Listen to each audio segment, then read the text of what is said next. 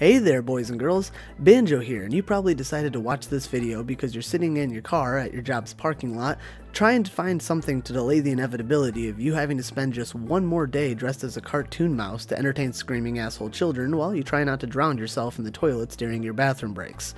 So, before your tears make it too hard for you to watch this, let's talk about a new game called A Hat in Time.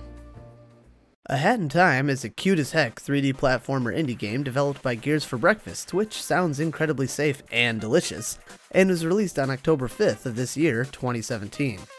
It was put on Kickstarter back in 2013, where it raised a total of over $290,000 over the course of its campaign, nearly 10 times the requested amount of 30,000.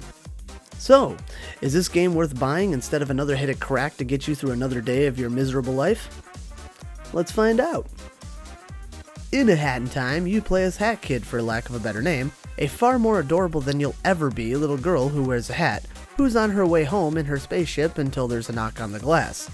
Upon investigation, she discovers it's a member of the Mafia demanding ship tax on her spaceship for being too close to their planet. After ignoring him, he breaks through the glass, sending her, as well as her spaceship's fuel source, a large amount of magical hourglasses, plummeting to the planet's surface. So, now she must collect the hourglasses in order to continue her journey home. I like how the plot is simple enough for any silly goose nugget, like myself, to understand. And so begins our first mission, where not only are we introduced to our first chapter, but also to another character, a little mustached girl who's totally not the main antagonist of the story, that we pursue relentlessly for no other reason than she's running away from us. Much like how I got a date for my prom. But instead of running, she was sleeping, and instead of pursuing her, I used an ether soaked rag.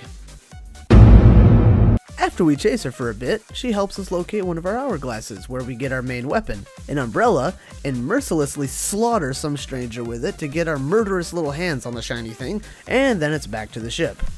From here on out, the ship acts as our hub world and allows us to access new levels as well as old ones, in case we want to replay them and try not to suck as bad as we did the first time.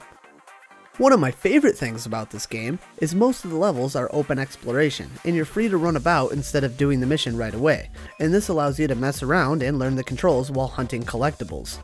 And the controls are really tight too, making exploring incredibly fun. Not only can you double jump, but you can also dash, allowing you to get to harder to reach places, and this dash has one of the best abilities in the game, the ability to jump out of it at any time, which allows you to land precisely on platforms.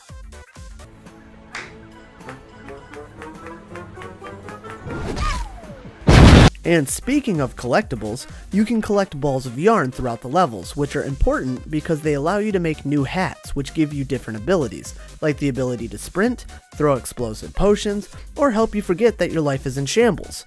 Not only do the hats give you different abilities, but you can purchase badges from this very trustworthy individual that also have different abilities, allowing even more customization to your playstyle. The game has so much going for it, unlike your hopes for future success. Things like time rifts that offer platforming challenges, a text-based adventure where you play as a corgi, collecting rift coins that let you unlock things like new colors for your outfit or soundtrack remixes, these are just some of the many things that add to its charm and addictive qualities. The graphics of this game are absolutely beautiful and remind me of the games I used to play back when I was a kid and didn't realize life was meaningless yet. And the soundtrack, mostly composed by Pascal Michael Stiefel, is very bouncy and fun, and according to its Kickstarter stretch goals, also includes tracks made by Grant Kirkhope, the musical mastermind behind music from Banjo Kazooie, Donkey Kong 64, and so much more. And let's not forget, the game also has full voice acting. Not only does the initial game have so much more to offer than Your Existence, but also due to its Kickstarter stretch goals, there's planned DLC for new chapters, new game plus, and even a co-op mode. Plus, the game has Steam Workshop support so players can waste their lives modding and sharing their own creations with one another. So is it any fun? Heck yeah, it's fun. I can't tell you how much I adore this game. And with a price point of $29.99 or half the price of a more than likely shitty AAA game, I'd say it's a toss up between buying this game or buying enough alcohol to enter an irreversible coma.